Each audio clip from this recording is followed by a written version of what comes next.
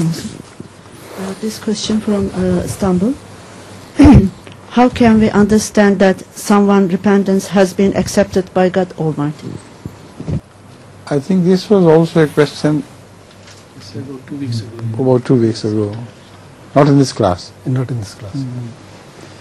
It's a common question. Young boys and girls are always try to find out how can we judge whether we have been forgiven or not. So the answer is very simple. How do the children judge whether they have been forgiven by their parents or not?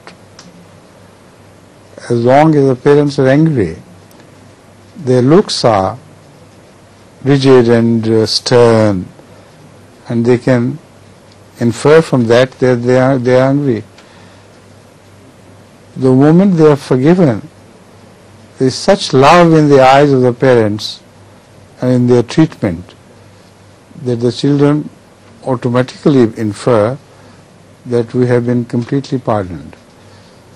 So same is the attitude of Allah towards His servants when he accepts their repentance, his attitude to them is changed.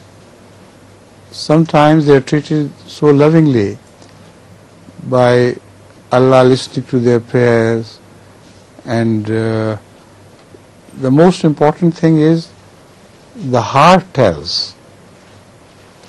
Something happens in the heart